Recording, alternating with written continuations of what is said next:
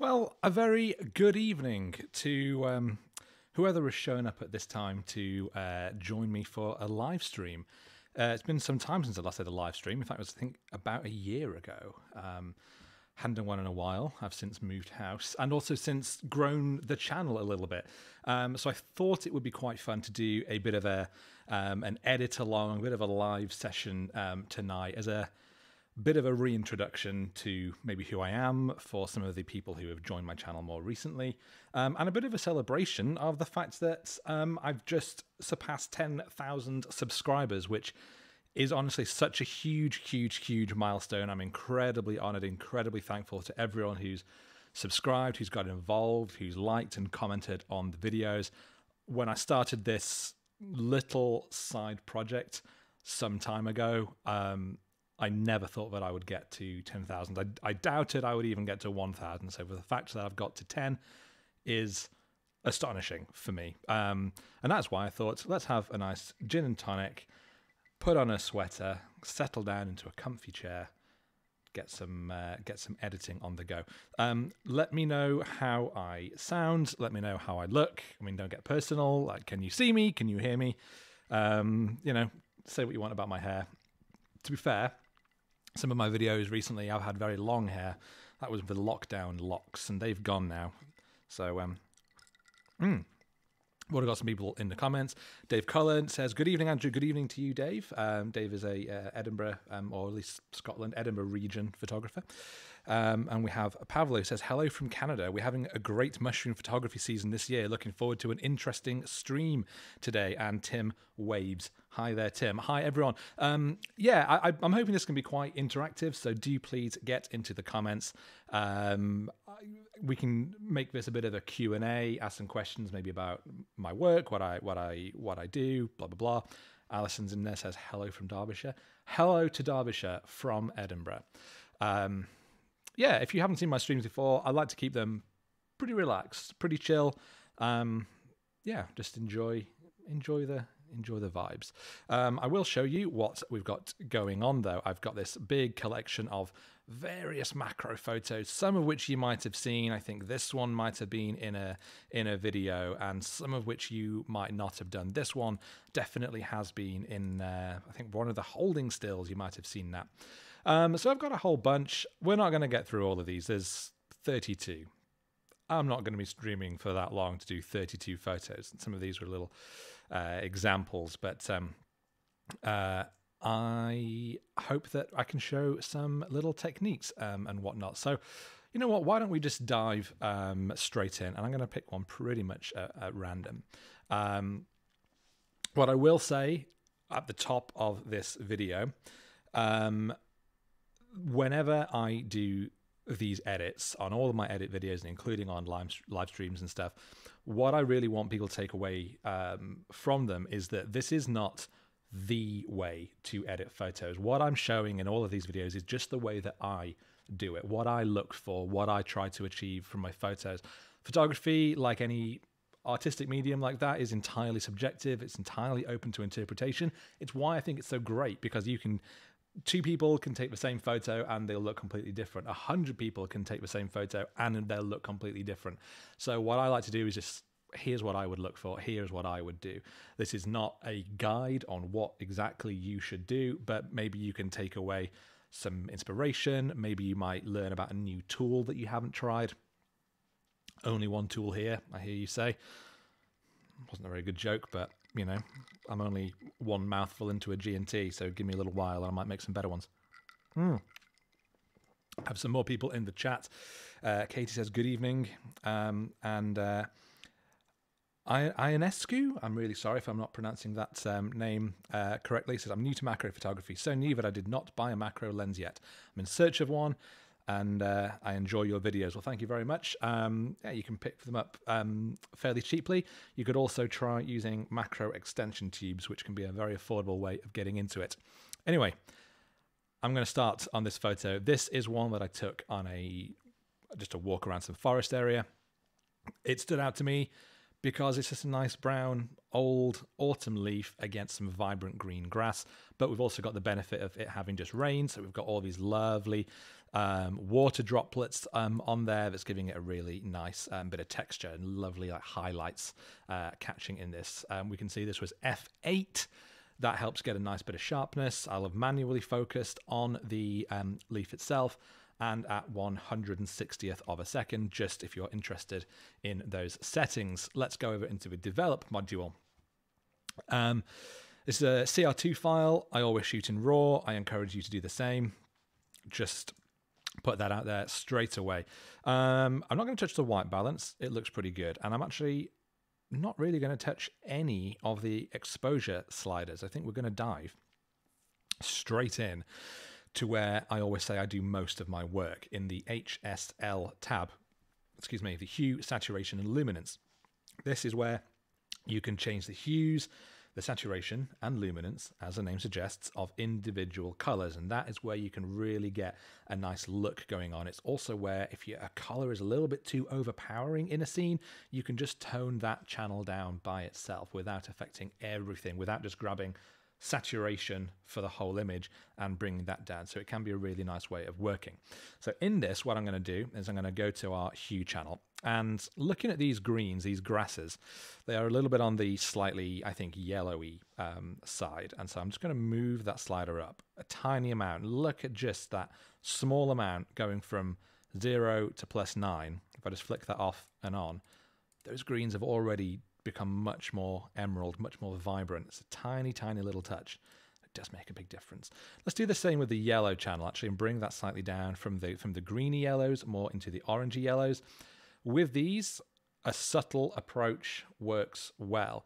If you go too far, as you'll see, we suddenly get this sort of pinky orange leaf, and the same is absolutely true for the orange channel. Things can get weird quickly.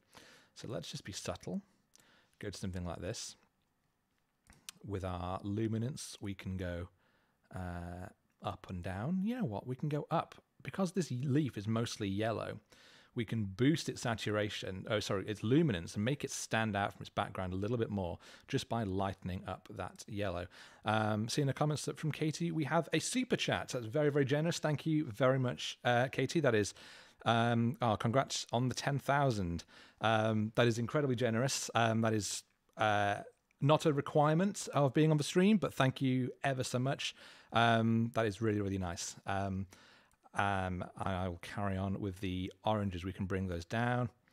What I often say in my videos and what you see I'm doing now is that every time I grab a slider, you don't know always exactly what it is going to do. You don't necessarily know if it's going to have moving a slider one way or the other is going to have the exact effect that you want. So sometimes it's an experiment. So grab it drag it one way, drag it the other, and then you can kind of figure out exactly what it is that you want to achieve. And in this instance, I think I do want to increase its lightness a little bit because, again, I just think that helps make that leaf stand out from some of those grasses around it. So I think that looks, uh, I think that looks pretty good. Okay, I'm going to leave it there with those um, with those tools, and I'm going to do a crop. I think just bringing it in a little bit at the top and bottom with a four by five crop. Um, I think a 4x5 is probably my most common one because I, particularly for vertical images, maybe not so much for um, horizontal ones, because I just find that the natural aspect ratio of um, uh, of a full frame camera in vertical, I always just feel looks a little bit tall and narrow. So I just like to kind of bring it in a little bit at the top and bottom like this. Um, so that's uh, about right.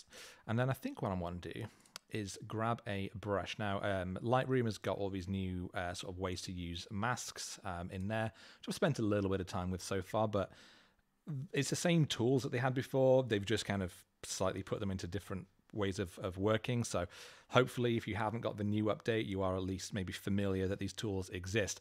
Um, using selective tools like the brush tool, like radial filters, linear filters, um, that is for me when I figured out how to use those was the biggest step forwards in my editing because it, you suddenly go from making an edit to say the exposure, which affects the whole image in one go. And instead, you can start to just adjust only the areas that you want, just adding in a little hint of light here, darkening it down, dodging and burning, as that might be called. Um, it just finds it's a much um, more precise way of working, and that kind of gives it a little bit more of a um, of a polished edge. Um, I would feel so in this. What I want to do is I'm just I think that I wanted to just slightly bring down the highlights, but I also want to increase the clarity. Now, usually clarity I wouldn't go near for sort of natural scenes. It looks a little bit crunchy, but I think adding in a little bit on some of these water droplets is just going to help bring out the um, the little sort of specular highlights, the, those little light reflections on those droplets. So I'm just sort of roughly painting this in. If we look, um, if we click to show the overlay, you can see just what I'm doing. It's rough, you know. I'm not doing, uh, I'm not, I'm you know, I'm not drawing around the edge to make sure that it's just on the leaf because it's quite a soft brush anyway, so it's not going to be that noticeable if we go over. So let's uh, uh, stop showing this overlay. And now if we just sort of pump that clarity up and down, you can see what it's doing. You can see that quickly if you go too far, it gets sort of very dark and shadowy and a bit crunchy here. So it's another one that a subtle approach is good here. But I just think having that little crispness um, actually looks looks pretty good. Um, let's boost those whites a touch as well. And you know what? I think that might be all I want to do. Let's look at the before. I think straight out of camera, it's a it's a decent looking shot, but just those few edits just to kind of bring more of a rich orangey tone to that leaf, I think is um, I think it's okay. You know, some quick edits for a for a quick snap. This is not the most dramatic of macro shots. Let's have a look through and have a look at some other ones. Um, as I say, we'll have seen these ones before. I'll have a little go on this one. Uh, Luke says, Hi there from South Africa. South Africa, I've got people all over the world. That's really exciting. Hello. Hello, Luke. Thank you um, so much for joining this stream. Um, as I say, if anyone has um, questions uh, for what I'm doing, um, let me know. Put them in the comments. And in fact, Alistair has a uh, comment saying, "Do you ever uh, use the calibration sliders to pre-adjust the color?" So that would be the camera calibration down at the bottom here.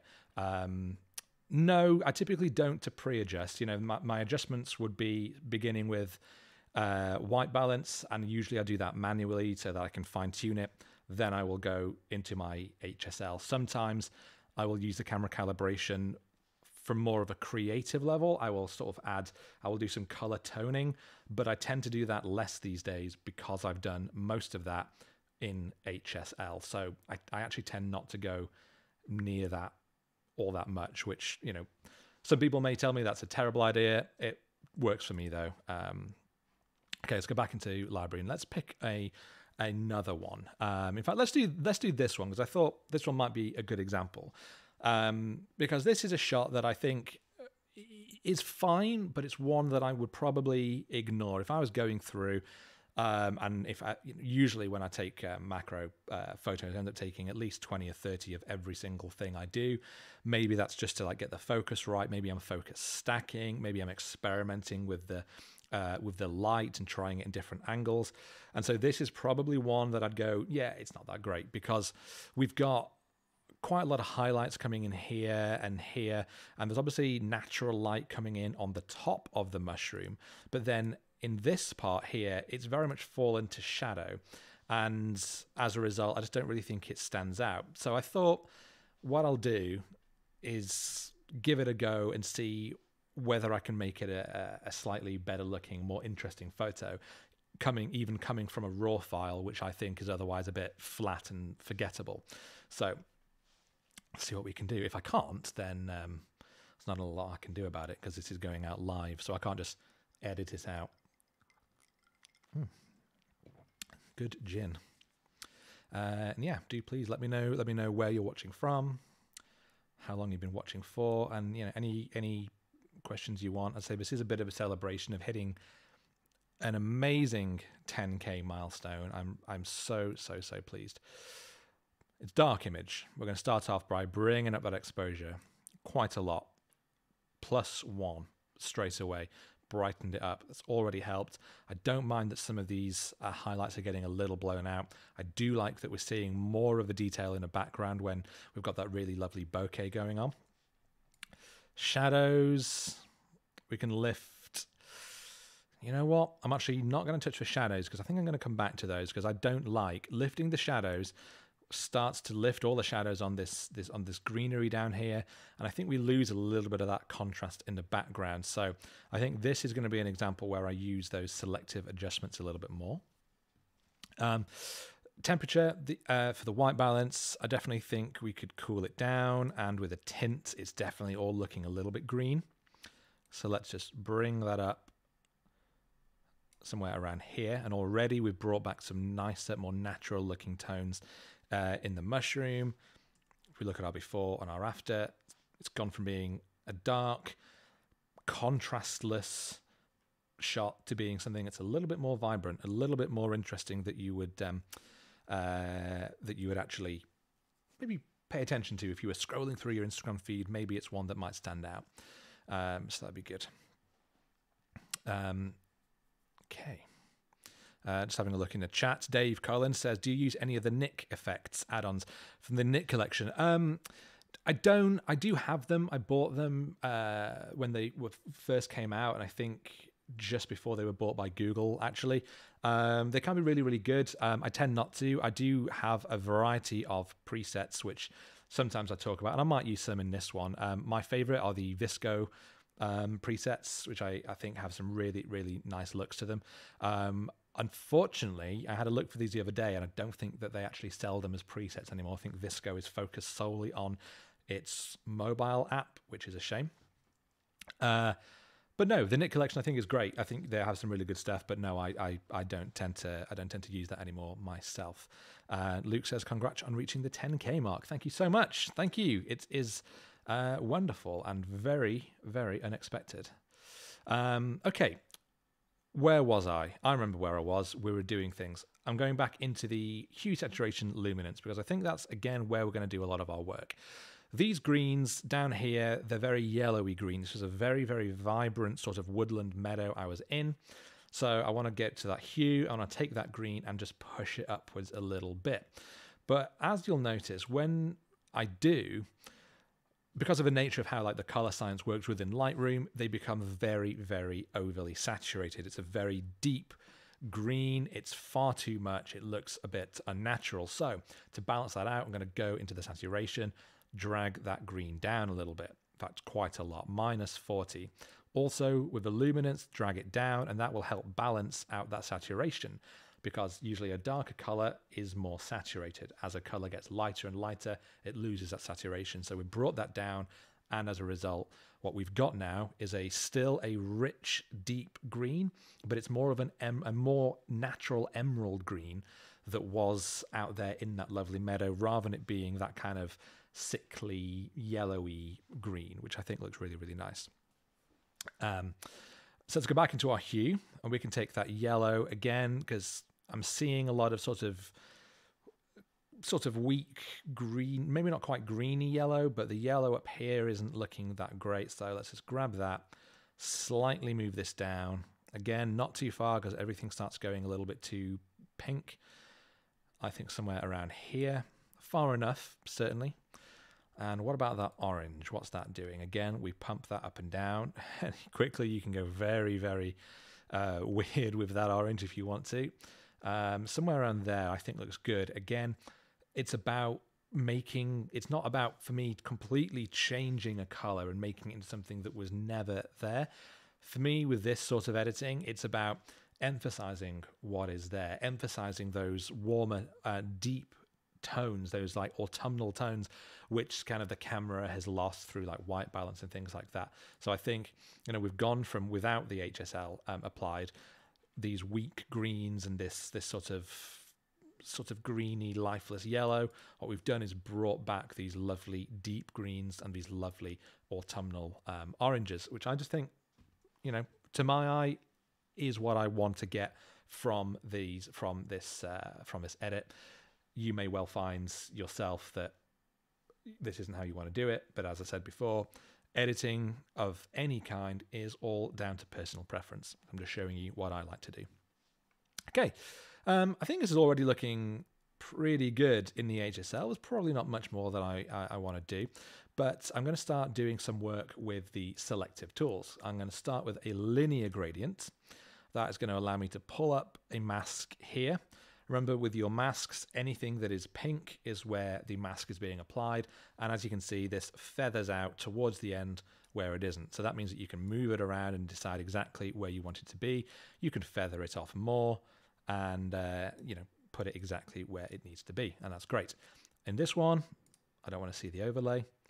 Bring that exposure down. And as I do, as you can see, it's darkening this part of the frame. Now, the way I reason I do this is that because with photography, your eye is naturally drawn to the brightest part of an image. That's that's how it works.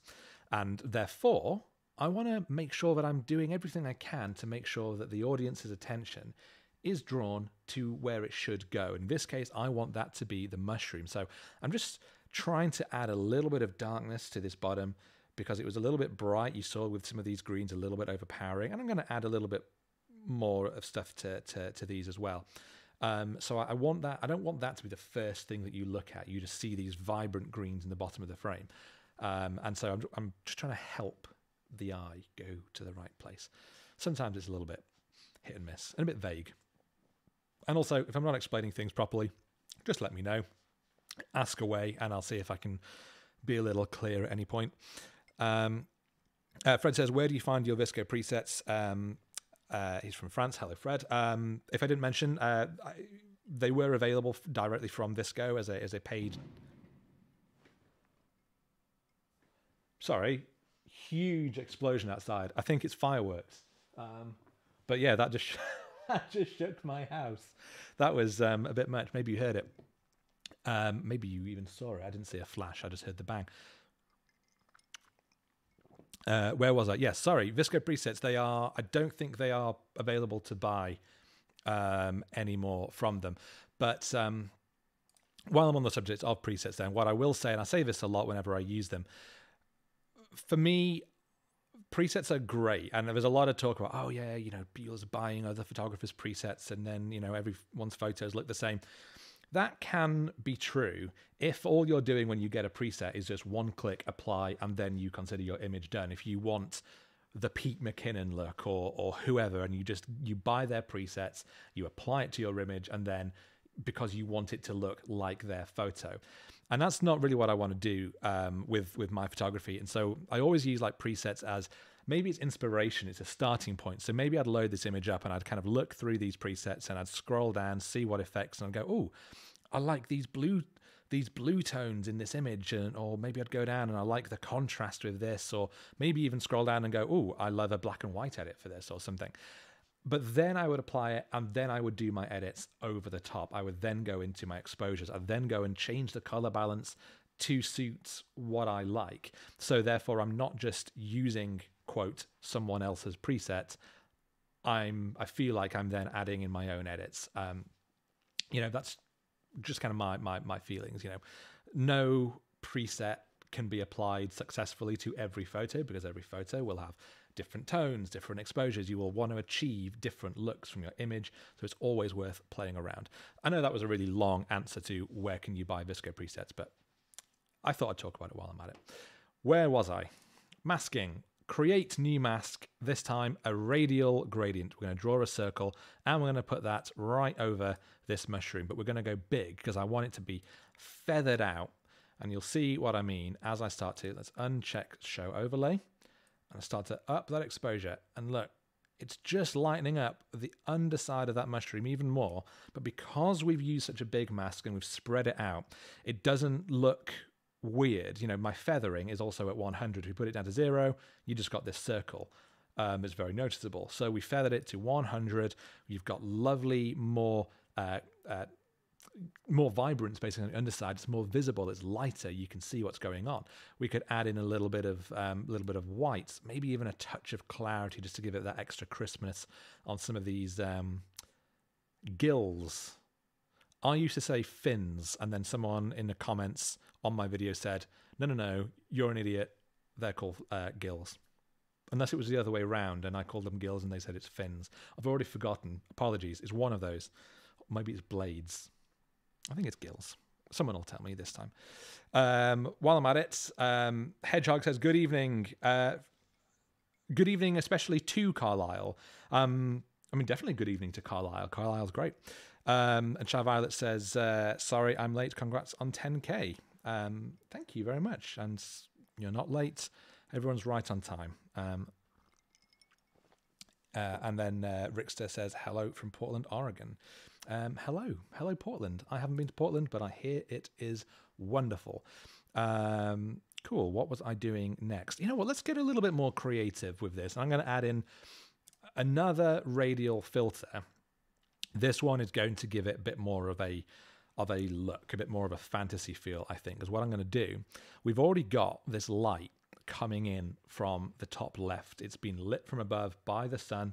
So I'm going to drag in this big old filter, massive, really, really big thing, and then move it almost entirely out of shot. So you can see that it's just giving this very soft fall off into the image. Let's not show our overlay. Let's increase that exposure and let's increase that warmth. And all of a sudden, we can move it around. It's like we've got this off camera warm sunbeam that's just cascading into our scene in like this really, really nice way. Maybe it's a little bit much. Let's turn that exposure down a little bit. Maybe increase the contrast a little bit, make it look a bit more like actual sunbeam coming in. I just think that looks um, that gives it a really nice look that just we didn't have before. Let's look at our actual before. Dark. The colors are all a bit off and a bit dreary and a bit drab. You wouldn't really see anything to excite you all that much. Now we've brought in much more light. It's a little bit overdone. What I think I might do with this one is just tone this down, kind of maybe back to there. We're just slightly um, increasing it. But let's also just turn down those, bring a little bit more contrast back into it because I think we're we've lost a little contrast on some of those. And now let's look at our before and our after. I think this is looking really, really nice. I'm pleased with how this is how this has come across. The last thing I want to try is adding a little bit of color grading. So that allows you to put different colors in the shadows, in the midtones, and in the highlights. It can be a really nice way of adding some tones. And I think with this, I want to add some like deep blue, sort of cool, like almost blue purpley tones um, into that. I think something like that could look really nice. And in the highlights, let's add some orange. Oh, I've gone too far. This is looking a little silly. Off and on, off and on. Let's go back to our shadows and just drag this and move it a bit more around into the blues or even towards the cyans. This looks better. Okay, this is better. Even then, I still think we've got a little bit too far. So I'm just going to bring that blending down. Also going to slightly bring down the luminance of our shadows with our highlights. There we go we can just slightly do that as well. And you know, I think I'm going to call this one a day, although I think I need to slightly straighten it up and maybe even slightly just bring down that thing so it's nicely done. Yeah. What do you think of this? Let me know. Let me know what what your th- thoughts are on on this image. Um, you know, because it came from it came from this, which which to be honest is a shot that normally if I was looking through having just imported my images from my memory card, I'd delete because it's just a little bit dull, it's a bit lifeless. But I think, you know, by spending enough time, we've managed to bring something that's a little bit more exciting. Um, so I'm hoping that that has been like a kind of a good little uh, quick tips in how to use some of these tools to to bring something back to life that you otherwise um, might not feel that you can get anything from. If I wanted to spend more time on this, I'd take it over to Photoshop. I would get rid of um, some of this detritus. This long twig or bit of dead grass is, is very distracting. I do like all of this cobweb underneath it. I also, you know, I don't even mind that it's slightly been eaten by um, a slug or something, but I would definitely do a little bit of cleanup just to make it a little neater um, but again, that's just a taste. Some people would love having all those little bits um, on the mushroom itself. Gives it a bit more of a natural feel, probably. Mm-hmm. Uh, okay, let's go back to our library and let's have a look at a different one. In fact, let's have a look at, um, at this one with uh, what I believe is a coral fungus. Um, do feel free to correct me if I am wrong. Um, okay, because this one was a little bit of a challenge when I did a, uh, when I did an edit of this first because it's a very very high contrast scene in that most of this shot is um, is very very dark. It's a very low key image, but then the mushroom itself is so vibrant. I used flash to light this. The the actual fungus catches that light and it glows vivid orange and so therefore kind of balancing it out in the edit sometimes is um, can be a little bit tricky. Uh, so let's give it a go and i am going to just in- start off by just increasing the exposure increasing the shadows quite a bit and also slightly bringing down those highlights.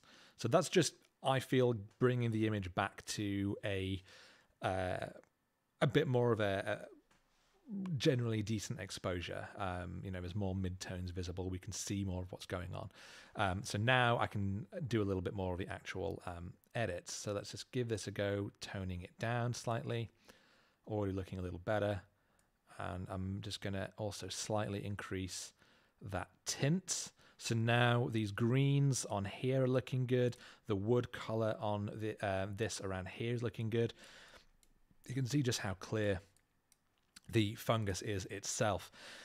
Um, this was shot at uh, f8, manually focused on um, on the fungus. So yeah, I think this is um, this is pretty decent. Let's also do a bit of a crop. I don't think it's quite straight because this was growing straight up, so we can neaten neaten that up a little bit.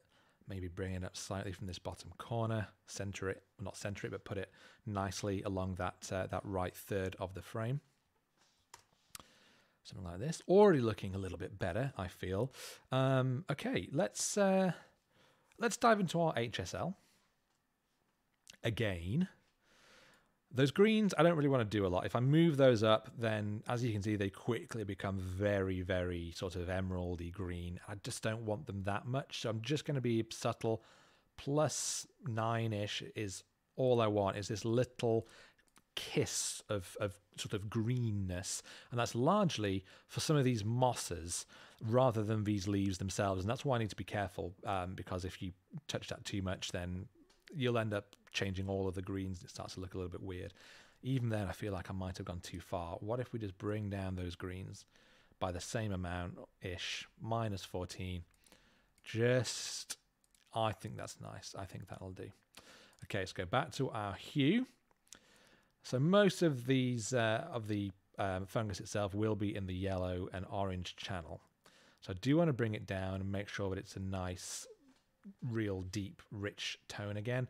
But I'm not going to touch the orange because immediately we can just see how pink not only the fungus goes, but also the wood around it. And I don't really like that.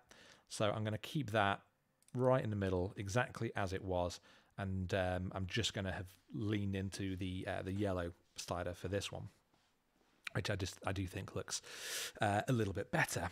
Um, let's have a look at our before and our after. This one much more of a subtle approach than the last one because it didn't I don't really think it needed a lot. What I don't want to do with this is is make everything bright and vibrant. I do like the the mood um, that's been that I've I've I've achieved by keeping this background dark and just sort of selectively lighting uh, the fungus itself. So what I don't want is like perfect visible exposure across the board. Otherwise, we lose that drama. We lose that depth. You know, you can see that this fungus is has depth that behind it goes far enough away that it falls to blackness. So you really get a sense that what we're looking at something is close to the camera, but it's within like a deep wood. Um, so so that works really really well. Gonna have a quick uh, quick drink. Um, again, to anyone who is uh, has joined more recently, um, thank you so much for joining. First of all, um, I want to keep this interactive, so any questions that you might have about what I'm doing, or just about how I work generally, or anything else, um, please do not hesitate to put your uh, questions in the uh, in the comments. Um, I wanted to do this live stream as a um, uh, bit of a celebration of the fact that I've recently just hit 10,000 um, subscribers, which is a um, uh, which is a huge milestone and, and, one I'm very very pleased about. Um, so thank you so much uh, to everyone who's who's got involved with the channel uh, and is joining and is joining this evening. Um, cool. I'm going to pretty much consider this done. And again, what I would probably do is take it into Photoshop and just neaten up a couple of these stray things. In fact, let's just do that. Let's go edit in so you can see how quick and easy that is. Um, I always start by duplicating my background. Just having a look in the comments. Hedgehog says um, ex ex film shooter but new to digital. Um, the post production stuff um, feels a bit cheaty um, uh, to them still. Sigh, which is a absolutely fair comment. A lot of a lot of people uh, would say that. I mean, I I try to have my limits of what I consider to be uh, fair game for editing, and for me, it's sometimes it's about um, uh, it's about emphasizing what is what is what is naturally there. What I don't like doing is doing composites. I don't put um, mushrooms or flowers um, into into a scene which were not there, um, and I feel that it's easy to draw a line in what is really there and what isn't. What we're seeing here is uh, is a, is a real natural scene, but you know what I'm doing is correcting those colors from what the camera has sort of done with its white balance to bringing it back to a real thing. And white balance has always been a thing. Let's also not forget that with film cameras, all of these techniques and things were absolutely there for film production. You know, uh, dodging and burning that comes from film. You know, you've always been able to put different filters, tobacco filters, polarizers. All of these things do wild things to your images. So, you know, this photography has always been an artistic pursuit, and what I do here is is for for me my art rather than it being a scientifically accurate record of what I'm doing.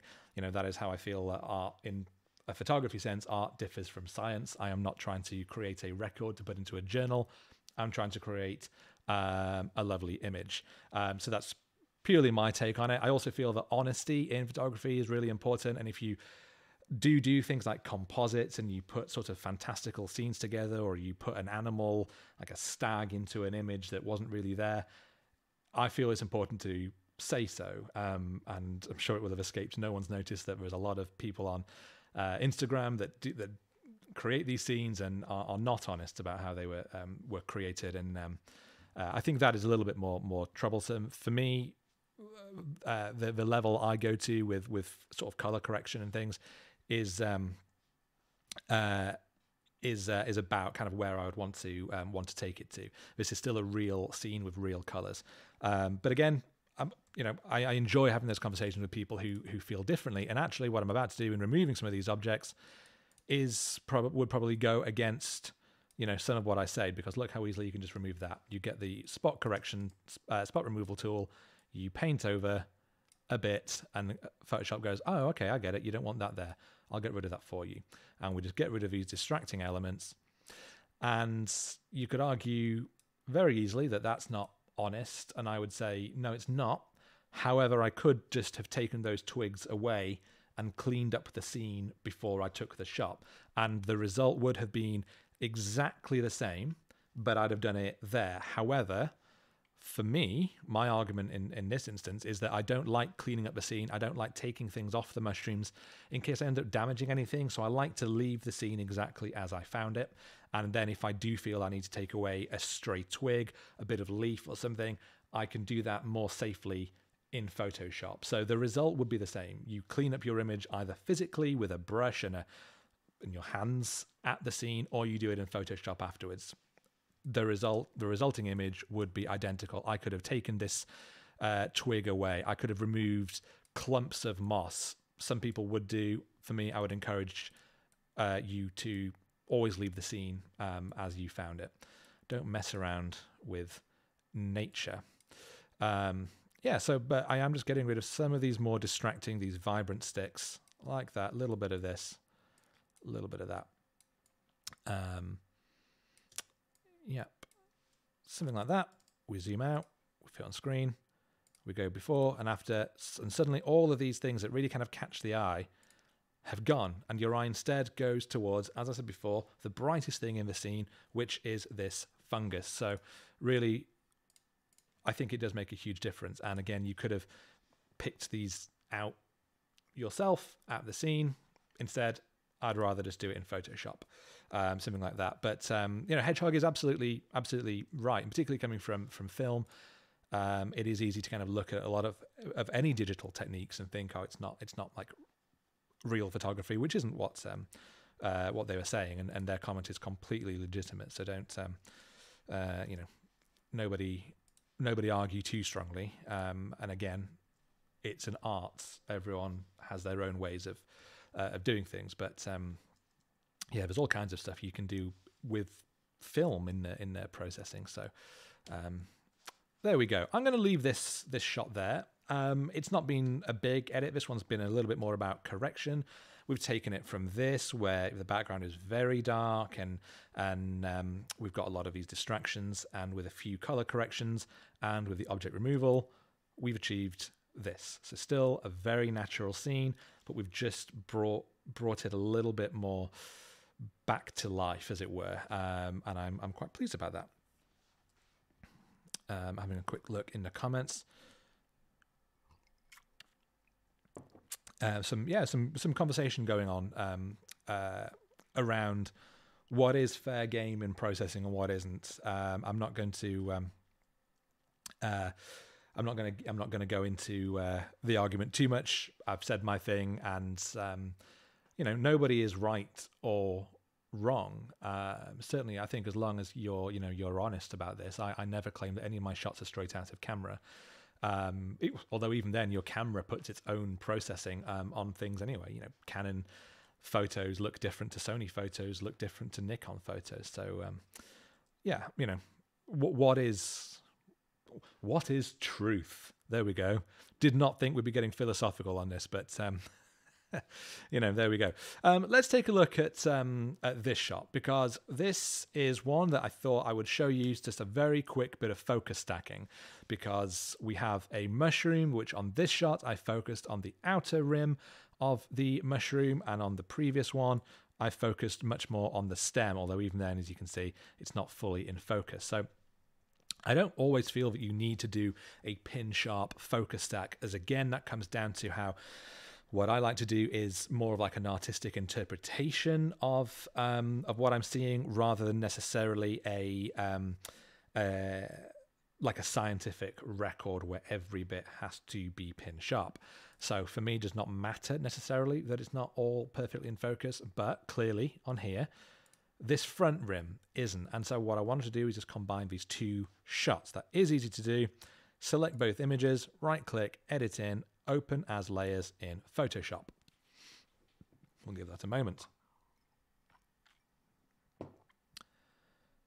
Moment's over. Here we are. Okay, so now we can see that we've got both those layers and just for ease, we're going to rename this stem and I'm going to rename this one cap. So now I know exactly which one is which. And now I took this on a tripod, but as you can see, as I flick these on and off, the mushroom switches position slightly.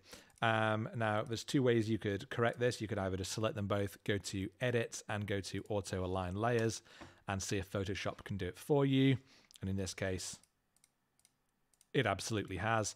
The other way would just be simply to do it manually, turn the opacity down um, on one layer, um, and then literally sort of drag it round until it's sort of vaguely in line like that. But typically, um, Photoshop's own tool Undo uh, will do that um, better. So that's usually the best way to work. Okay, uh, stem or cap, which one did I want more in focus?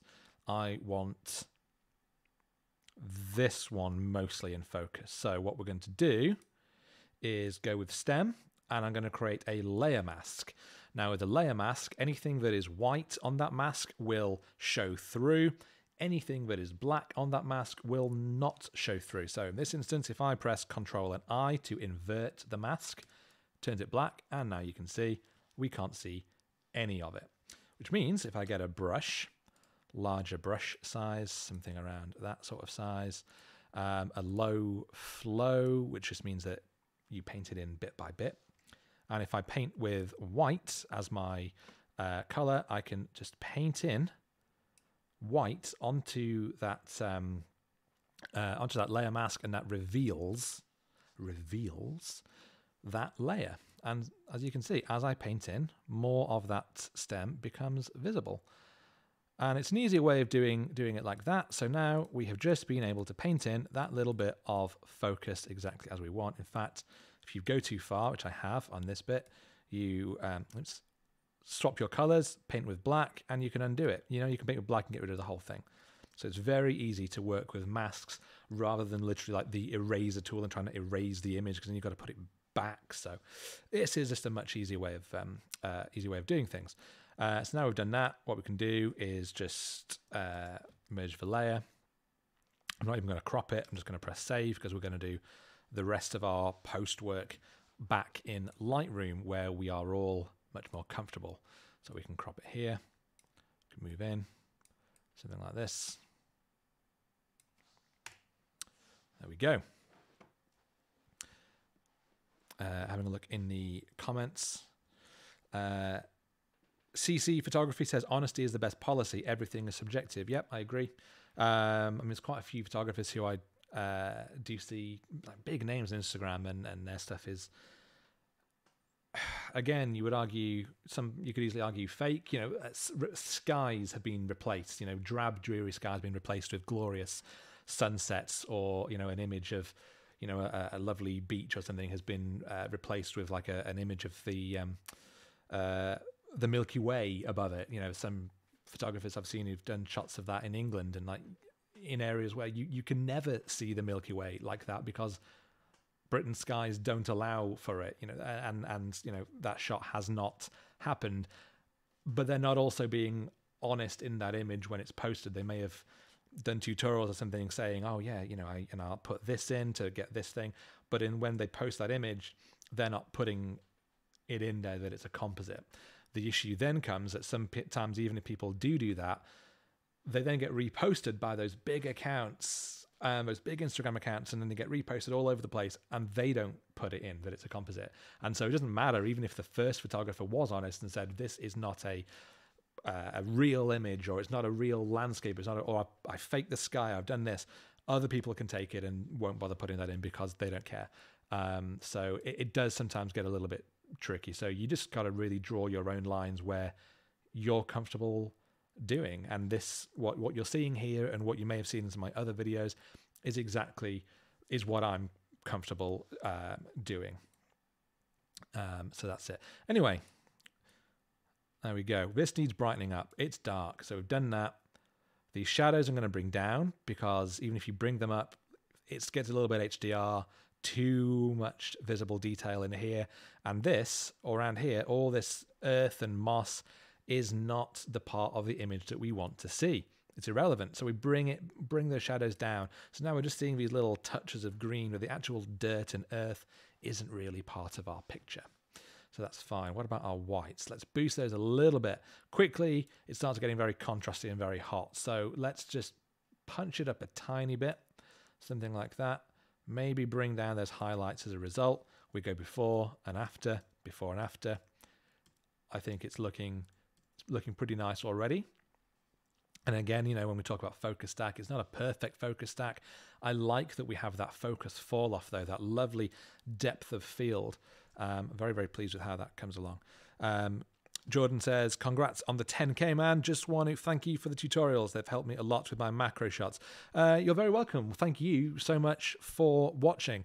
Um, the only reason I'm here um, sitting doing this uh, live stream now, celebrating 10,000 subscribers, is because so many great people have got involved. They've gone into the comments, they've liked the, the videos, and it's been great. Um, I almost never get a, a, a negative comment on videos. I, I am so so grateful for everyone who has taken the time to uh, sort of be part of this, and, I, am always incredibly uh, honored when people sort of talk about how it's like helped their photography when they've tagged me on uh, Instagram photos when they're like, "Hey, I watched um, Battery HQ's video and I went out and did this." Um, yeah, it's been it's, it's it's been great. It's been an amazing amazing ride, and I'm and I'm incredibly incredibly grateful for um, all of like how supportive um, everyone has been. It's been amazing. Um, cool. We're back into HSL again. It is my favorite tool in Lightroom. It's certainly where I do most of my, uh, I feel like my heavy lifting in my edits. The exposure tabs is for correcting and getting your photo looking like at a decent jumping off point. HSL is where I kind of give it a bit more of a look, as it were. So these greens, again, because of white balance, which I've not really corrected for all that much, these sort of otherwise vibrant mosses have become a little bit yellowy and off. So let's drag that a little bit up. And as before, just correct for that extra saturation that it's put in by bringing that down. Um, you know, maybe I've got a little far. Let's bring that down about there. Off and on. You can just turn off that tool and just check. And as I do, you can see exactly what it's done. It's gone from this very sort of yellowy, sickly pale green. Suddenly it's gone much more vibrant. And this is an amazing place to walk around in Scotland.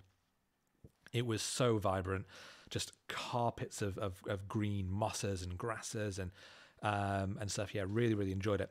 But the other reason why um, I think it can be quite nice to have more of a sort of vivid emeraldy green in shots like this is because all the other tones are yellows and orange. And so if you've got a green which is too yellow, then suddenly all of your tones in your image are all basically in one color palette and just in those sort of muddy greeny yellow and orangey things so this we're just bringing a little bit more separation and it helps this mushroom stand out from our scene. Let's grab that yellows a little bit bring them down.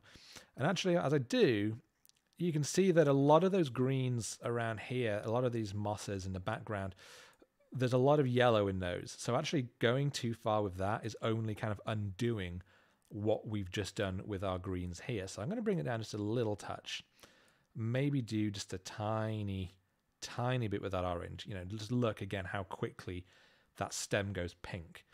Do not want it to look pink. It was not pink. It was just a nice deep orange. So a very, very subtle touch. That minus 11, I think, is all it needs. We turn it off. We turn it on. Look in particular to this rim here.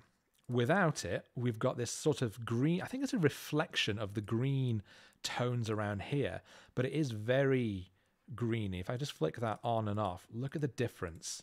That subtle shift. We've barely touched these sliders, barely touched them, but it makes a huge amount of difference to just the the the depth of color on this thing. But it's not it's not changed the colors. It hasn't it hasn't turned this into something that it, it wasn't. It doesn't look different to how it really did. It's just brought back in, it's corrected for those white balance errors. It's brought back the real richness of the natural tone. It hasn't made it hasn't made a, a yellow mushroom blue. It's just made it a deeper color of what was already there. And again, that kind of in, in terms of like honesty in photography, that's kind of what I'm I'm hoping to uh, to achieve. Um, two more things I'm going to do with this shot. I'm going to bring in a linear mask up here just to darken it down. This corner is already dark, but we've got quite vibrant greens down here still. And I just want to, again, help the eye come towards that mushroom. So just putting in that, it's like a natural fall off. It is already there without without that um, without that mask if I uh, just turn that off, it is already darker. We have that natural fall off already, so it's not adding something that isn't there.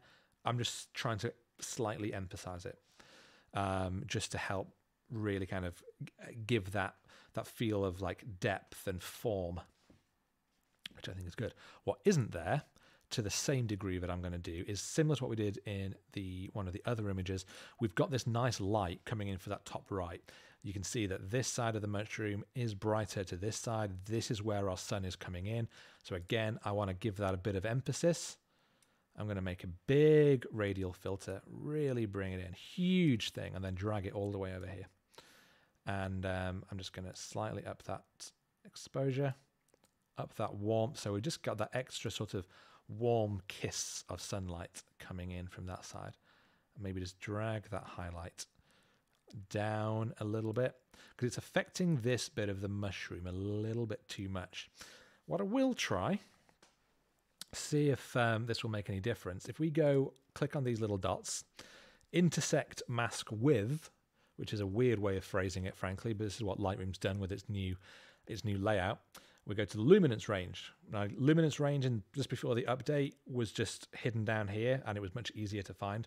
But it basically allows you to tell Lightroom that you want your mask to only be applied to either very light areas or the very dark areas. In this case, I don't want it affecting this top of this mushroom quite as much because it is, excuse me, already very bright. So if I drag this down, as I do, you can start to see it come away. However, you also start to see it doing this weird effect, and that's because there's a very hard edge. So if I drag this and we feather it, I know which one is it am I dragging? Is that one the, that's the mask. Yes, this is the thing, they've broken it. They've made it weird, difficult to understand. Okay, you know what? I'm actually noticing that it's not doing what I would want it to anyway. So I think what I've shown you is completely redundant and um, pointless, and all I've done is waste everybody's time. So, um, you know what? My apologies for that, but um, it didn't really work. In theory, using this tool would have allowed you basically to say, oh, I don't want this appearing in the very bright part of the mushroom and therefore make it even brighter. Actually, the reality is that the background um, area is, is of a similar tone, and therefore trying to reduce it is actually just reducing the whole mask, therefore making it pointless having the mask to begin with. So we're just going to call it uh, a day on this image there. Let's have a look at our before and our after, you can see just how much difference uh, that has made. Or in fact, actually, you know, we look at the uh, one pre-focus stacking, just this little sliver of the front of the mushroom in focus, the stem very much not. It's dark, the tones aren't that great. Boom. Lovely tones, it's brighter. We've got sharpness on the stem, we've got sharpness on the front. So now it kind of stands out as uh, an actual mushroom. So I think it's uh, I think it's looking pretty good. Uh, I'll have a little pause here. Let me know what you think of what I've been doing so far. I've been going an hour, um, which is good. Uh, Shy Violet says, "Love watching your videos. They're very relaxing and informative. Thank you very much." Um, yeah, relaxing is is a is a big compliment. I like the idea of of of my videos being like nice, relaxing, and hopefully, I always feel um, like quite positive ones um, to watch. I always try and be like as as positive as possible because photography is supposed to be fun. It's it's a great hobby and it's it's always fun. It's always exciting to go out and and see what you can get. And uh, I, I don't want to you know bash other YouTubers or anything like that. But one of the things that I I see a lot in in uh, tutorials and things is like here's what not to do, five things to avoid. Here are the mistakes you're making, and for me, it always kind of jumps out as being a little bit. You're starting off on a negative stance, you know. Instead, it's about you know, here's great. You've gone out. You've you've taken these lovely shots. Go you. This is amazing. And then you know, here are some tips that you could also consider to take it to the uh, maybe take it to the next level.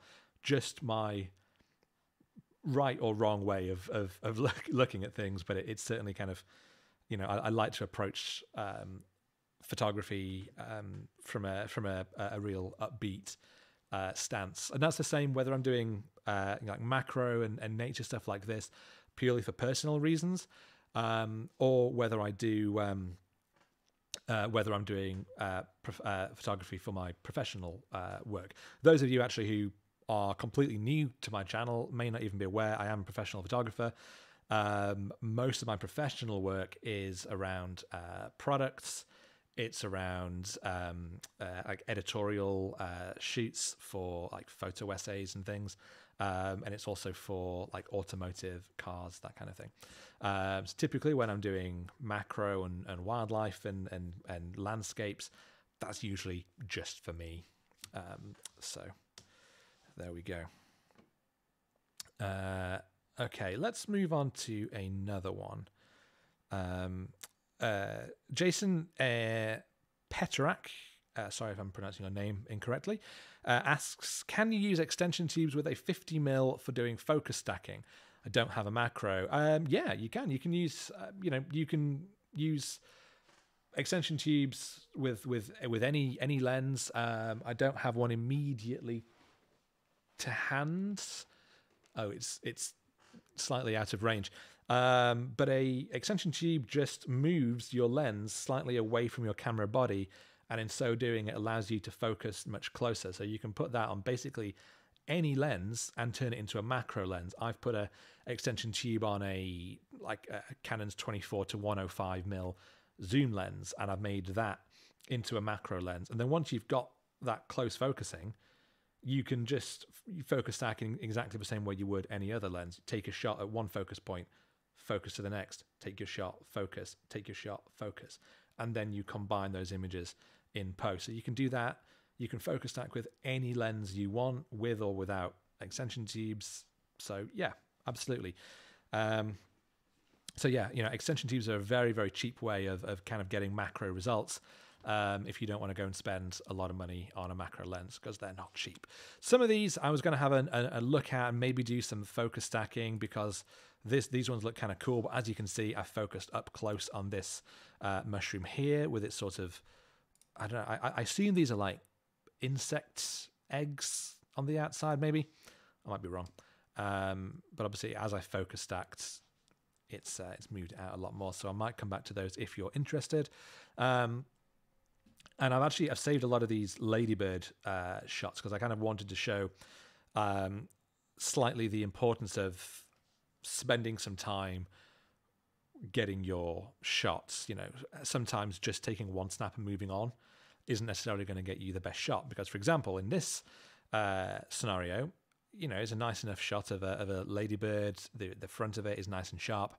It's on the leaf. There's some nice fall off from using um, uh, f4.5 as an aperture. But I stayed with it as it was walking around. Sorry, could you say that again? Sorry, I couldn't hear what. Well, thank you very much, Siri. That wasn't helpful. Um, I stayed with it and I snapped away as this sort of ladybird was just naturally moving around the scene. And as I did, it sort of got closer and closer. And then uh, oh, you know, sort of walked around this little bit of leaf, and then it went and it climbed right on it, and um, and I got uh, you know I got this shot, which I'm really really pleased with. Um, you know, great. It's right in the middle of that flower, perfectly centered in this lovely, uh, lovely vibrant blue. You know, the red against it with this nice green background. Um, it's just this lovely natural scene. I haven't placed it there. I haven't picked it up and, and tried to get it to to go there. As you can see, I've literally I followed its journey along. I mean, I actually took these are just a sample. I took about 200, as I tend to do with these things. Um, I took a whole bunch, and it was walking around, and then eventually it did. It climbed on, and it turned around, um, and I got a shot. It's it's. I haven't used this before because if you look, it's not very sharp. I was shooting this at 160th of a second, handheld. As a result, it's a little bit blurry. But if you look at it like this, you probably wouldn't be able to tell. If I was going to do some edits, I'd brighten it up. I'd maybe move down. Maybe I'd look in my um, VSCO presets and I'd just go, okay, apply that one. Maybe bring it back down a little bit. Maybe up those shadows ever so slightly, up those whites. And then maybe let's do a crop, four by five, bring it in, it's a little bit, it's a little bit narrow. Boom, done. Call it a day, move on. There we go. Here we go. A damselfly. Lovely long boy um, standing against the background. Um, at least I think it's a male. The males tend to be the bigger ones. Correct me if I'm wrong. I don't really know enough about damselflies to be honest to be able to determine that, but I thought I was right. I took a whole I took a whole bunch. Again, this was a little scene uh, actually shot in my mum's garden um, where uh, I took loads and loads and loads. Um, I haven't tried to focus stack this because I'm side on to it, and therefore pretty much everything is in the same plane of focus, and so you don't really need it. If you look really close up, you can see that this outer bit of its eye, because its eyes, if that's its body, its eyes come out like this. So you know the, that this bit of eye is closer to me than the rest. I think on this one, maybe the eye is a little bit sharper and yeah the body is a little bit softer but i just don't think it makes that much difference i prefer this one so why don't we have a little um, uh, a little a little look at this because I do like it. I've intentionally used um, uh, that depth. It, I've kind of got around to get on its level. I'm shooting across rather than shooting down on it, and as a result, we've got this lovely depth of field with just these plants and grasses in the background falling to this lovely sort of blurred nothingness. And so this damselfly really, really stands out um, against its background. So yeah, I'm really pleased with how this. And even then, you know, that's at f8, so it's still nice and sharp, but we've still got that depth because, you know, camera was here, maybe the dam- damselfly was here a foot away, but then these grasses were probably about 10 feet away in the background. So even at f8, we're still getting great depth of field because of that focus distance. Have a little sip of drink, running low, which is a shame. Um, Violet says bugs are both beautiful and terrifying. They are both. I um, have a weird thing in that I am absolutely terrified of spiders. In that I hate them being on me or near me or in my house. Uh, I will never kill them. I will always um, rem- have them removed to the outside. I was going to say remove them. I rarely do it myself um, because I am really bad with them. But I, if I see one when I'm out and about, like one of those sort of big, chunky friends in a big web in autumn, I will get right up to it and give it a uh, try and get some nice photos because for some reason it's different when I'm holding a camera. Uh, okay, let's have a look. I'm just going to crop in ever so slightly on the top so that it's much more kind of centered straight across uh, the middle of the frame. Uh, I'm going to bring those highlights down a little bit, which should, I think, just be affecting this uh, this flower because it was a little blown out in our highlights there. It doesn't need a lot. And again, we pulse it up and down until I find a nice midpoint somewhere around there. Minus 17 is about all we need. Um, okay, our white balance I think is a little bit green. It's it is sort of a little greeny on um, on the damselfly itself. So let's just up that uh, somewhere around here. Already looking much better. Uh, what about our shadows? Let's lift our shadows. You know what? Let's not lift our shadows. What I'm going to do is I'll u- try and use those same tools that we looked before. So let's get our um, radial filter. We are going to uh, put a nice circle over him here, move it round, something like this. And this time we are going to up our shadows, up our whites a little bit, and up that clarity, give a little punch. But as you can see, if we just turn that off and on, oops, you can see the whole ring all the way around. So this time, I'm going to see if I can get that uh, that tool to work. Intersect mask with uh, luminance range, and uh, where has our luminance range gone? Where has it gone? Luminance range. Ah, there it is. Okay. So we're back on that mask. And now, as you can see, if we drag this up, it gets rid of it from the dark areas. If we drag it down from the top, it gets rid of it from the bright areas. And we want to get rid of it from the bright areas. The background is very, very bright. The actual insect itself is much darker. So we drag it from the top and it disappears, disappears, disappears, disappears, disappears, disappears, gone. There we go. So now, if we look at our overlay, that red is only applied now to the fly, to the damselfly. It's not on our background, so we can do whatever we want to this mask now. We can bring up and down. It isn't affecting our background green at all, which is perfect. It's exactly what we want. So that is why that tool is so powerful. You don't need to go in, zoom in, and paint in that detail very, very carefully. You can just be as rough as you want, put a big splotch over it. I could make that mask even bigger, fill the whole thing. But because I've used that um, luminance uh, range, it's only going to apply it to the dark parts of the fly. It's very, very, very handy. Zoom back out. I can turn that off. Um, I, I may may even come back and use it a little bit more. Um, but at this point, I'm pretty happy. And that's meant that because we've lightened up the body, we can sort of bring our shadows down. And I like that because it's adding a little bit more contrast on this flower itself. Um, and I really like having um, having that extra little sort of depth to those uh, to those nice flower petals. Um, okay, and again, we come to the HSL tools. It is my favorite. I told you it was. Um, again, I'm going to up that green.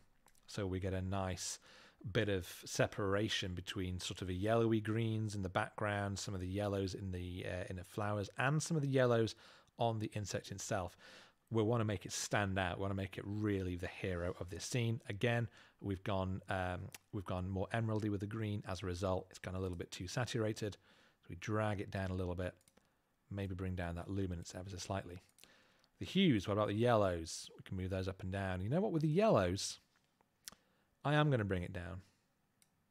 Maybe I'm going to adjust those greens. So maybe we could go a little bit down with both. It gives it a bit more of a summer vibe. And I think I took this in the summer. When did I take this? It's not relevant, but sometimes it's nice to know. Where will I see that? Where is information gone? I don't know. I don't know where I'd find that. I mean, it's not really relevant, is it? I suppose. Uh, probably be in here, metadata. Uh, 5th of the 6th, or is that 6th of the 5th? June, 5th of June. There we go. So, yeah, sort of summary. So it's kind of nice actually having that. So maybe I maybe we will. You know, we've gone very autumn and very vibrant greens with um, some of the other ones. Let's go the other way. Let's go some nice sort of summer evening vibes going on here. I like that. Up those yellows a little bit. Allow them to be a bit more desaturated here because it's just helping that red pop out even more.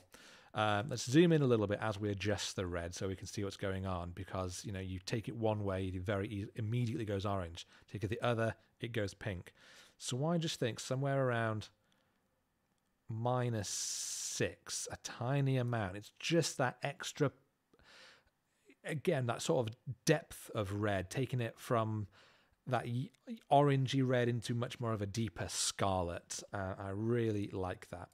Also going to increase the luminance a little bit and in so doing slightly increase the saturation to balance it out. Because that vibrant red is just going to help our friend here stand out even more from the background. If we just turn this off and on, off and on, again, this is we've gone with a little bit more of a like a look with the toning here, but it's um, uh, it really has made a. Um, I think I think it's made a nice difference. Um, it's got a, a, generally nice warm vibes. What do you think? Let me know because um, I don't think there's anything else I would do to this. I don't think it needs it. I think it really kind of stands on its own. Um, you know, you could maybe it's not pin sharp on here. To be fair, maybe I could go in with the with a with a brush, create a new mask, create a brush and um, I could increase the texture a little bit and I could increase the sharpness a little bit and just try and paint in essentially a little bit of sort of sharpness and, and clarity on like its wings and its body which might just help make it look a little bit sharper. But at a certain point if you haven't got a sharp image to begin with if you've got motion blur just increasing sharpness and texture and clarity is not going to rescue your broken shot. But if I just pulse that up and down, that texture, you can see that it, it, does make a difference. And because I've only applied it with a subtle brush, even at plus 100, it's not actually that strong because I've only applied about, you know, a small amount of that, um, the brush, because I've got quite a low flow. So I've basically only applied 20% of that 100. So if that makes sense. CC Photographer says, You need a pet jumping spider. They are so cool.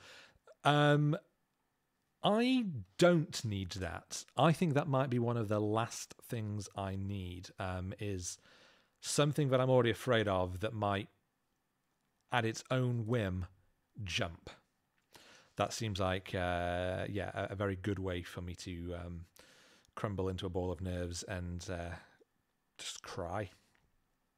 So um, yeah, let's let's not go with the jumping spider.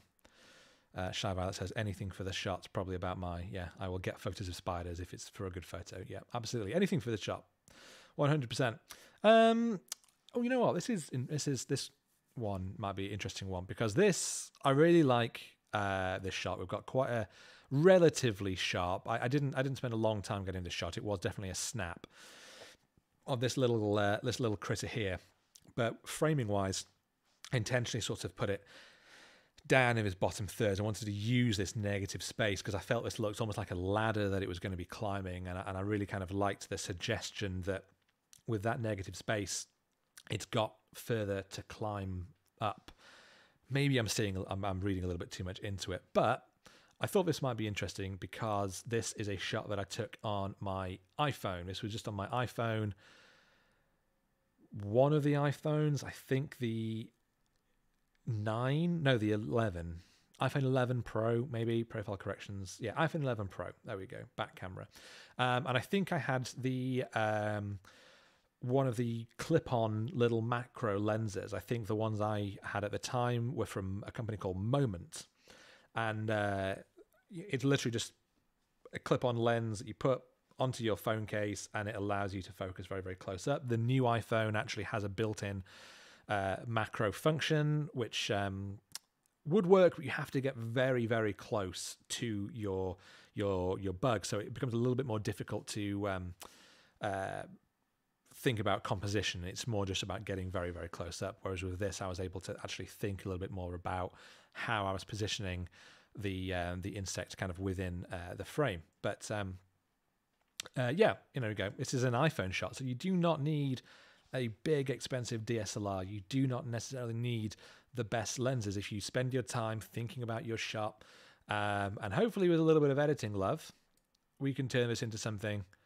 a little bit interesting. Let's start off and let's have a look at um, what it looks like with uh, A6 RAW on this. Obviously, it's gone quite bright, so I'm going to bring that down. Um, in fact, it's gone very bright, but that's okay because we can play around with it a little bit. Again, with our green colors, these are very, very yellow. So let's take that green, uh, make it a little deeper, and we're going to bring that luminance right down maybe undo some of that saturation a little bit. And as we've done, suddenly we've got, you know, we know what color ferns are in the middle of summer. They are vibrant, they are green, they are vivid, they are lovely. So what this has done is brought it back to where it was because this, uh, the original, oh, I see.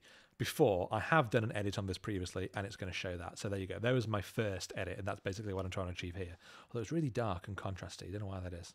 Anyway, um, you know, it's it's great because we've got this vivid orange of the insect itself, and now by giving some separation, um, we've so we have given it some separation by making the greens of the background much more green and vivid, and therefore it's moved those colors apart essentially and allows the bug to really stand out. So let's keep on going. Do that. What about these yellows? Yes, same again. We can up those yellows a little bit, make them that nice green, bring that down. There we go. Look at this. Look how much more it stands out. If we turn that off, everything's sort of this weird yellow. Everything's this this sort of off sickly tone. Because again, you know, I was taking it with an iPhone, but I think I took it in RAW because yeah, this is a DNG file.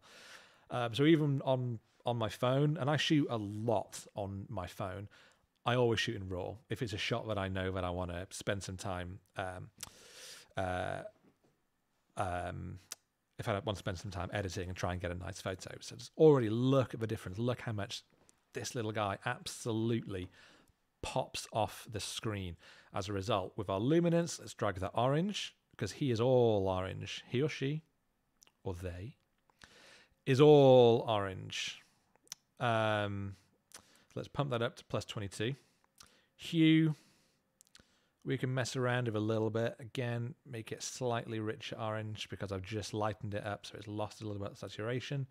But I'm not going to touch the saturation, although it is a minus five. That is all I want to do. Look at the difference. Isn't that huge? And that isn't, um, you know, going back to what we what we were talking about earlier in terms of, um, you know, whether a shot is sort of real, whether it's whether it's fake. This was fake already because the camera has sort of made these colors, these these these green plants. It's made it very yellow. It's made it very um, very orange. When did I when did I take this again? Let's have a look. Maybe it says 18th of July. Yeah. So this this was green. This was vibrant. It was vivid, and instead it's it's it hasn't done that. It's captured it in a different in a different way. And so actually going to our um, going into this and adjusting these colors, what we've done is brought it back to where it should be.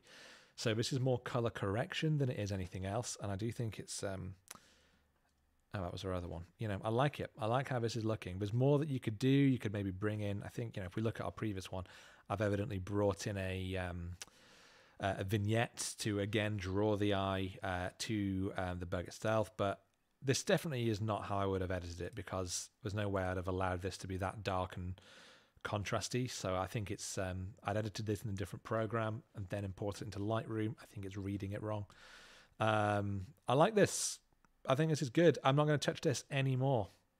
You know, sometimes just getting it to a natural point and then calling it a day is all is all you really need. Um, as I'm doing any of these, let me know what you what you think of them. Let me know how what you might look for, whether you like um, the shot while I finish my G&T. I should have made two, really, shouldn't I? Um, yeah, and of course, as we're as we're going, pop your put your thoughts, put your comments in the box. Um, I want to try and do some live streams a little bit more regularly because I do. I love just doing these sort of chill edits. It may not be macro, maybe it'll be landscapes. Maybe I'll do some product um, stuff or something. But it's just nice to have an opportunity to invite people to come and actually kind of join in that process to ask questions that I'm doing because otherwise it's entirely one way. I put out a video, maybe you'll leave a comment, maybe I'll be I'll find time to get back, but instead, you know, if you ask a comment about oh, what are you doing with this tool, I can actually answer and I can show you, and I really like doing that. Um, I also like to be able to directly talk with people and and certainly thank again thank you all for um for for, for being part of this. Um, so um, yeah, you know, it's been it's been great. It's been it's been amazing doing this. Uh, so let me know if you are interested. I suppose the people who are in the comments now are of course going to say yes. I like uh, I like a live stream. Um, maybe if you're watching this as an on-demand one and you would like to have seen it live, uh, let me know. I picked seven o'clock because it seemed like a good balance of when people in the US might be online and people in the UK might be online. Um, but you know, I can always do that at a different time although not too late because it is, uh, what is it, almost half 8 p.m. It's almost way past my bedtime. Uh, okay, let's have a look at another one. Let's do a, let's do, um, this is an older one. This is one from uh, one of my, my first main uh, macro videos.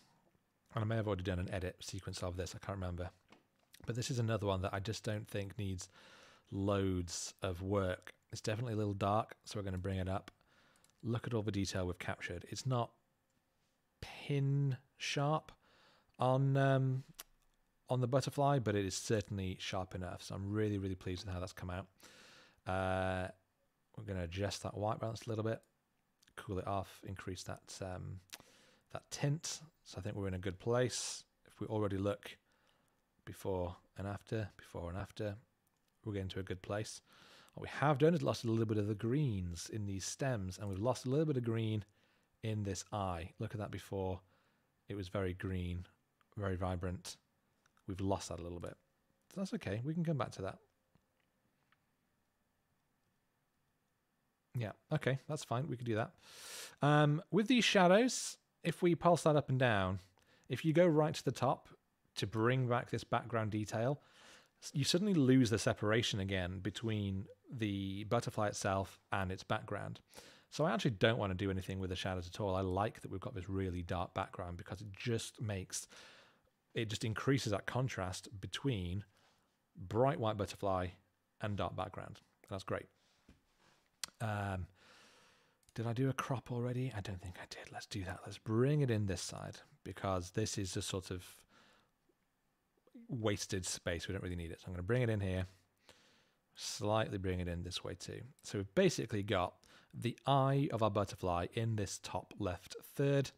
Um, but we've still got some nice negative space around here. I think this is looking pretty good. Um, let's go down to our HSL tab. Let's get the hues. Let's look at what these greens are doing. Let's definitely increase those greens a little bit, try and bring some of that color back.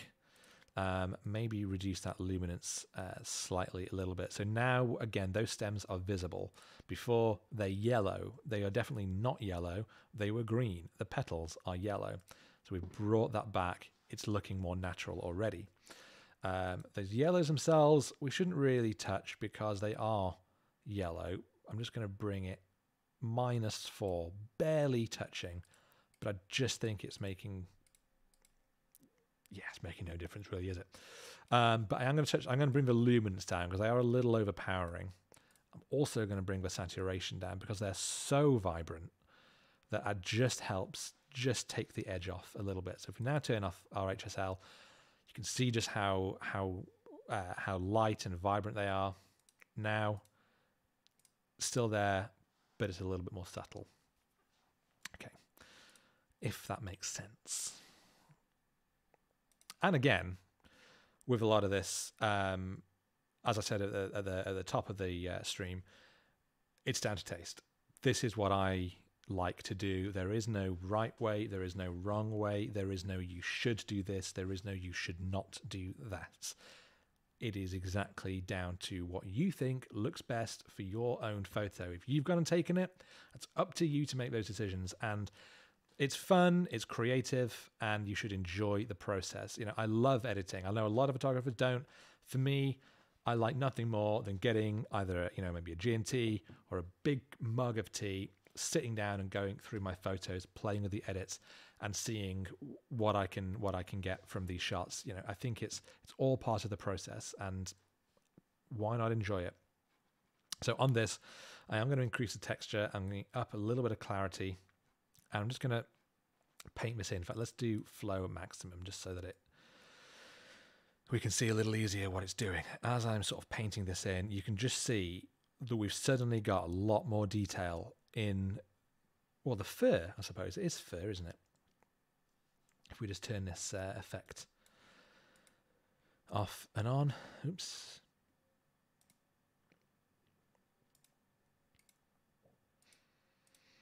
Maybe you can't see this all that well in the um, stream because of YouTube's compression, but certainly to my eye, we're really getting a lot more um, uh, detail there. So I'm going to continue with this brush and just paint it in a little bit more. Let's turn off. Um, okay, there we go. Not on everywhere, but just on the bits of the uh, wing where we've really got um, some of that nice sort of texture from all the different, uh, I suppose, scales that they have in their wing. But I don't want to go too far on these tiny little hairs around there. Maybe a little bit on those knees. Knees? Do butterflies have knees? I mean, that's what I would call a knee. It's the joint. So, uh, Alistair says in the comments, have you tried Topaz Labs Sharpen AI or similar to rescue photos from Motion Blur? Um, I haven't. I've seen some examples that they've put out that have evidently worked, and I've also seen examples from other people where they've put photos in and it definitely hasn't worked. Um, that would be an occasion where I would just want to if I if I haven't got the shot, then I try and get the shot again next time. I don't want to have to use things to to like rescue a shot um, unless it was maybe I don't know, uh, like a wedding. I used to photograph weddings. I mean, strictly speaking, I still do. I just try not to.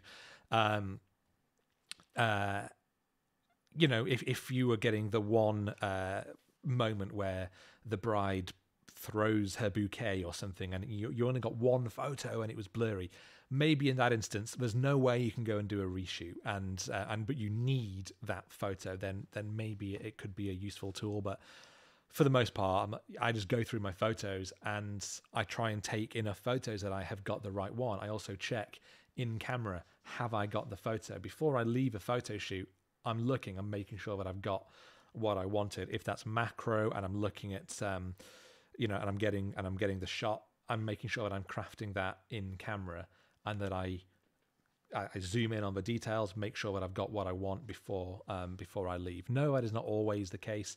As I sort of showed with that um, ladybird, it, its um, its head wasn't quite pin sharp, and, and arguably this one that we're looking at here is also not quite pin sharp, but it's it's close enough. And um, yeah, you know, it, it may well work really, really well. And and um, Alistair, if you've used it and um, you found it good, yeah, yeah, let, let, let us know because it could be it could be a really useful tool. Um, what I'm doing now is another brush, and this one is going to be just for this eye, like this. In fact, let's get rid of that exposure. We don't need it brighter. Um, but it was green before, wasn't it? We saw it was green. So I'm going to try and bring that back. So I'm going to reduce the temperature and reduce that tint. And in so doing, we've already given it more of a green. I've upped that saturation. I don't want to go too far. Um, Hedgehog says, weddings, try not to. Love the honesty. Yeah, I mean, I, I have done quite a few weddings, and actually, every single one I've loved doing. It's amazing being part of someone's day. And um, I have my, my portfolio includes a load of weddings, um, and I'm basically work on the basis that if someone sees my work and specifically says, I want your photos for my wedding, then um, you know I will have that conversation, and and um, I, I, would I would obviously be honored to to take that work. But what I don't do is advertise as a wedding photographer. I'm not out there trying to get work as a wedding photographer. It's not. It's never been what I do.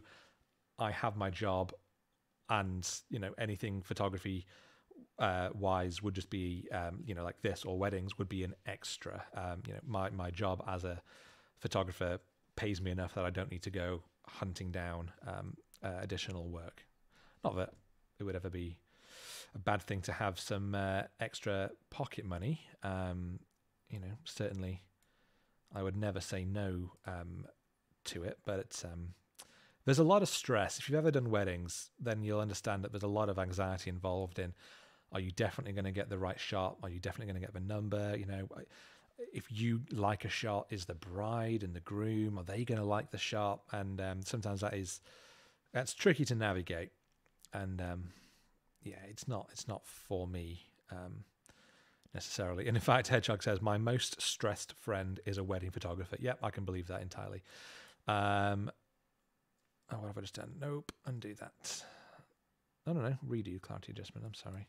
Uh, no, I'm trying to use a new mask, create new mask brush. And this one, we're reducing those shadows, um, reducing that flow again. And I'm going to try and just paint in a little bit just to try and emphasize those shadows on its wing um, because they've got some really nice sort of ways that it, it, you know, we've got those textures, I suppose, the way it almost looks like it's rippling.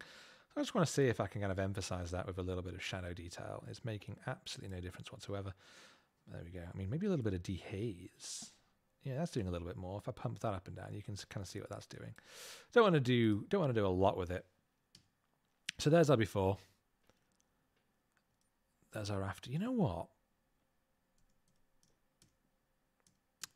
I don't think that was our before. I don't think this is. I think I think this was my first processed file.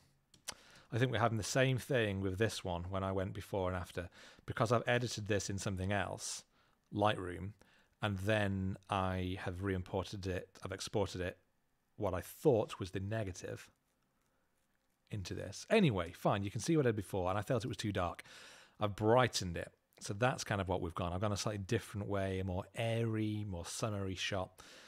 And that's fine. Sometimes that's a great thing to do as well, is go back and re-edit your old photos. You've learned new techniques and maybe there's new tools you can play with.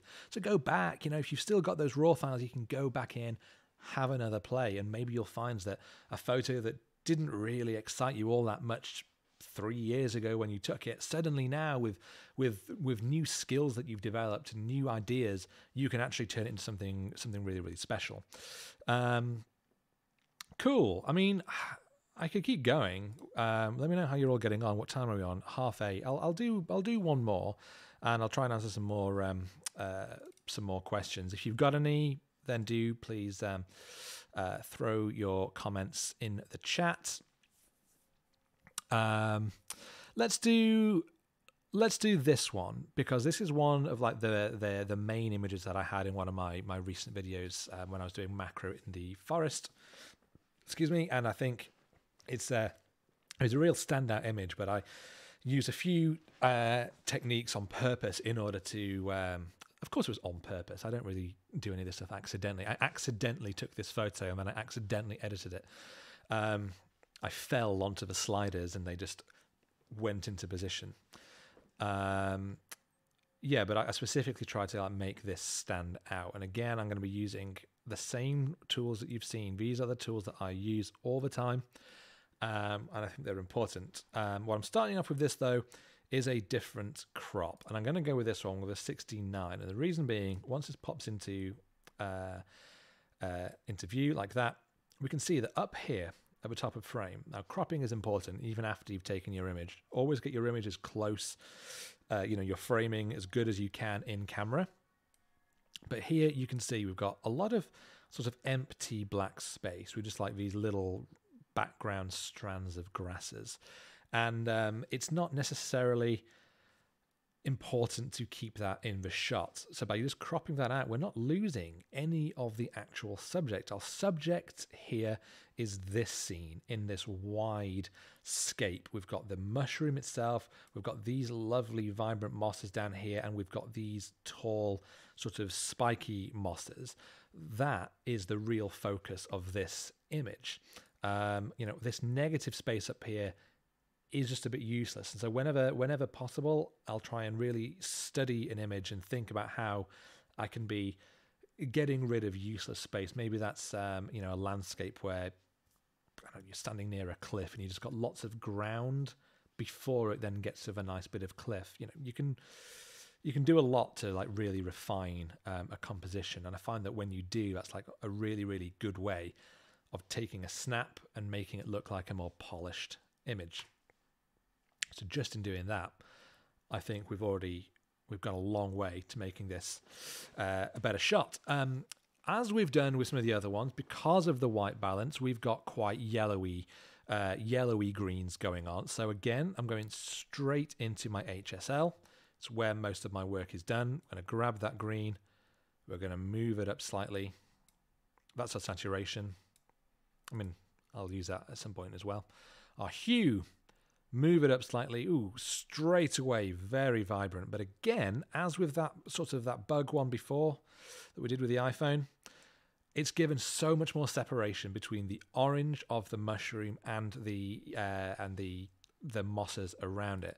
Turn it off. It's all it's all within the yellow color palette at the moment.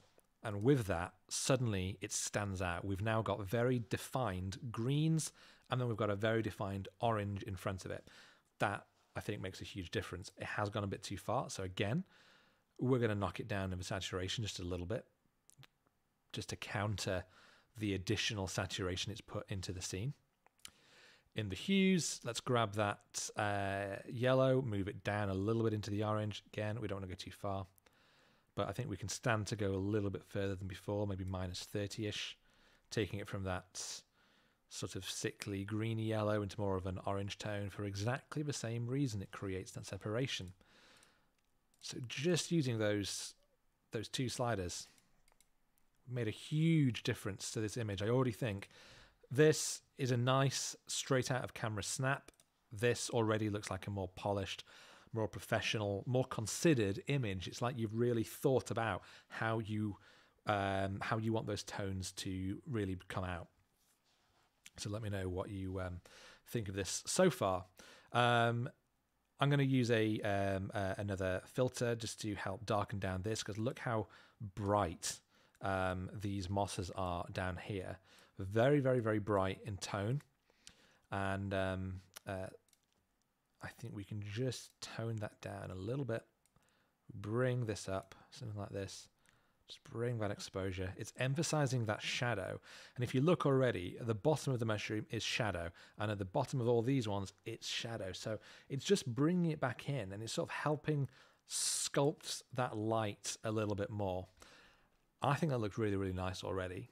I just think it has made a huge difference. What do you think?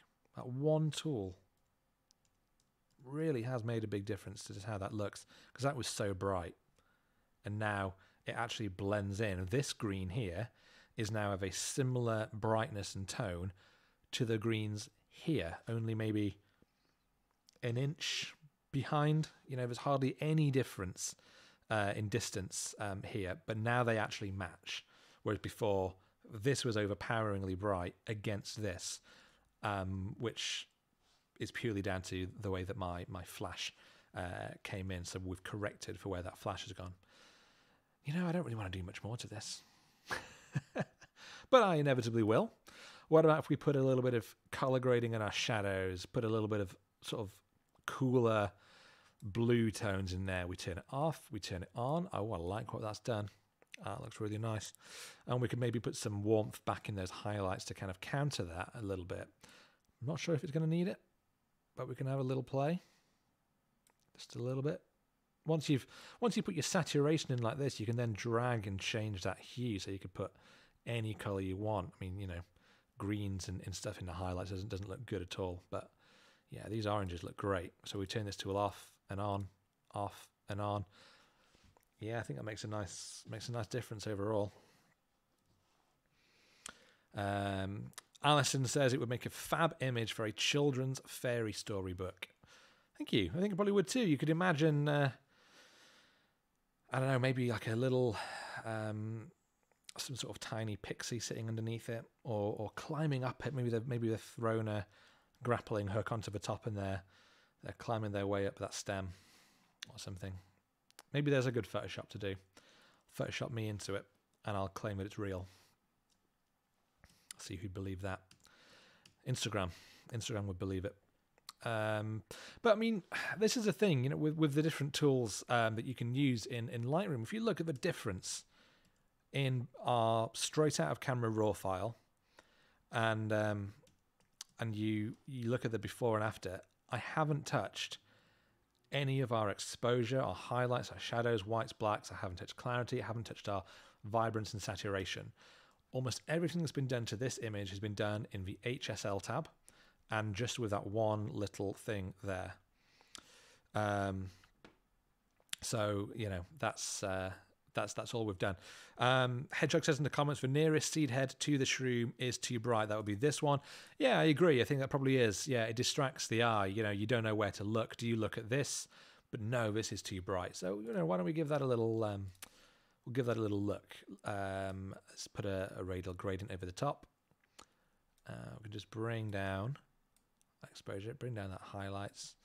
You know, you can only go so far before it just looks a little bit too dark because obviously it is there. Obviously has caught the light. Um, so you know something like that you could maybe try and get away with. Um, you know, I think that, that kind of looks good. I mean, to me, I don't mind it because I again, it's it's it's it's almost like part of the subject itself. It's this it's this thing that's standing out against these greens. So you know, for me, I, I don't I don't mind that. I think in my other edit, I don't think I touched it at all maybe just taking the edge off those highlights a little bit um, would work, but um, something like that. Uh, if it really bothered me, I think I'd probably just Photoshop it out in the same way as hypothetically on location, you could have just taken it out of the scene. Um, I would not pick it out of the scene for the same reasons I said before. Um, I'd rather Photoshop it than just pick plants. Um, so yeah, you know, I think this is I think this is this is okay. Um, there's not I don't think there's much more I'd want to do. Let me know what else you know what you think to this scene. This is one I, I when I when I did it, I was really really pleased with. I took this using using Flash. Um, uh, I was out on location, off to camera left, um, way over this side. Um, I had my my light, and so that's casting this beam of light in, lighting the mushroom as giving that separation from its much darker background. So yeah, you know, let me know what you let me know what you think. Um, I think that is, should probably be um, everything we've done because I've gone on for a, a, long time now. It's quarter to nine. I've been going for an hour and forty-five minutes. So let's have a little look at some of the shots that we've we've done. I've not done everything in this uh, in this collection. But we've done this where we've we've adjusted some of these colors, removed some of those distracting objects to really make sure that this coral fungus is our focus. We took this shot from being what I think is a um, uh, a very uh, dark and dreary shot to being something a little bit more vibrant and stand out. And again, this has just been done in with some Lightroom adjustments. We've not taken this over into Photoshop. Um, then we've done our little focus stacking and our color adjustments on this. Such powerful tools, very easy to do.